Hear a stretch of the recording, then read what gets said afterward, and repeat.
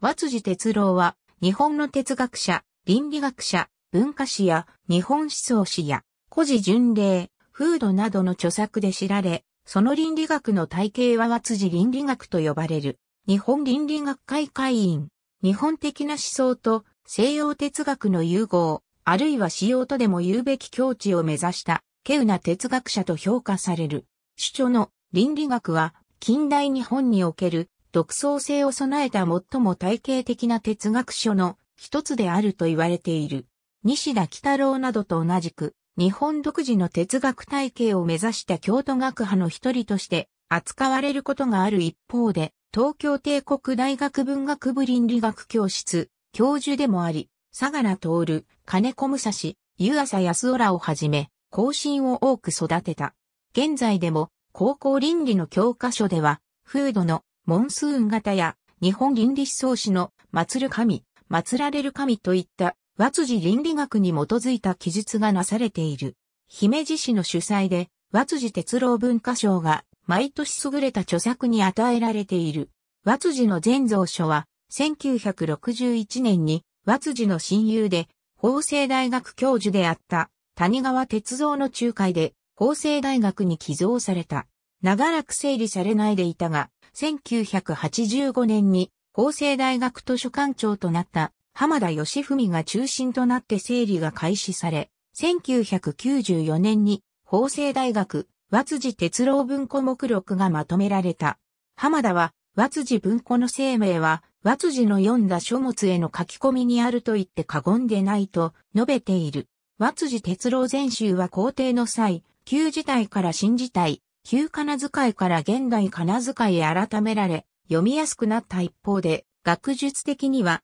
批判を受けている。文化勲章授与式、後列右側が、和辻哲郎父親はと、堀村仁豊野の医師、和辻水太郎で、和辻家は、代々続く以下の家系であった。随太郎の弟に、京都大学医学部耳鼻咽喉科初代教授の和辻、春次がおり、その子供には、大阪商船専務、京都市長、造船協会理事長などを務めた、和辻春樹と、朝日新聞記者の和辻弘樹、岡山医大学長、田中文夫に嫁いだ娘の三つがいる。母親の正は、稲見郡関木村の庄屋の娘で、その上に最高裁判所判事の田中次郎がいる。妻の照子は、横浜の貿易商、高瀬三郎の娘で、友人、高瀬愛知の妹である。結婚時に持参金として、照子の父から、久沼の土地1万坪を贈られる。長女の京子は、社会学者の小高国夫に貸し、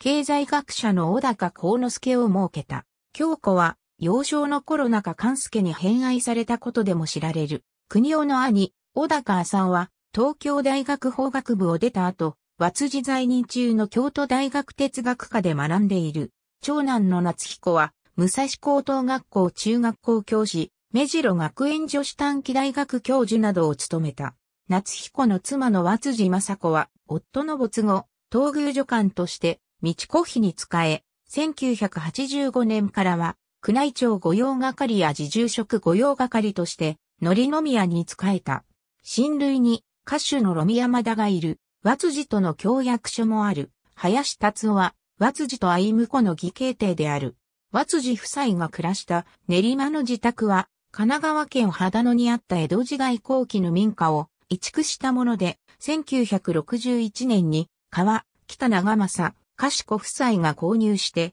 鎌倉に再移築し、来日した映画関係者を迎える場として使われた。映画、東京画の撮影にも使用された。その後鎌倉市の所有となり、2000年には景観重要建造物に指定され、春夏に公開されている。人間の学としての倫理学では、西洋哲学の個人主義を批判し、人間という字が本来意味するように、それは間柄的存在であるといい、個人と社会の相互作用が不調に陥ると、全体主義、個人主義が台頭すると述べた。倫理学も人間の学としての倫理学を受け継ぐもので、日本の倫理学を打ち立てようとするものだったが、戦争が始まると論旨が一貫しなくなり、失敗に終わった。日本倫理思想史では、古代から明治までの倫理思想を描き出した。倫理学は仏教や朱子学など体系性を持った外来思想であり、中国の思想になってしまうため、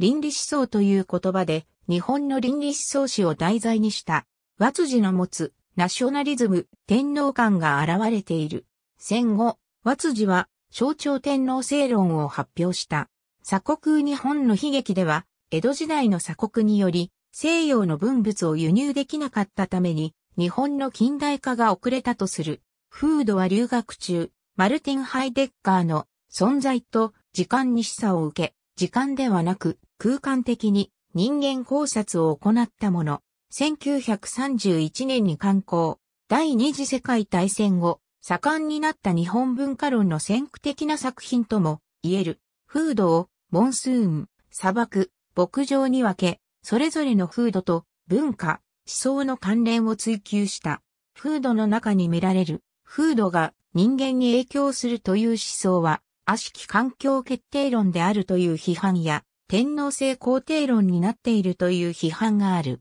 一方、この風土という考え方こそがグローバリゼーションをとどめるための積極的な方法論である、とする評価もある。夫人、友人らによる階層、電気弟子たちの研究、電気近年観光の研究所、ありがとうございます。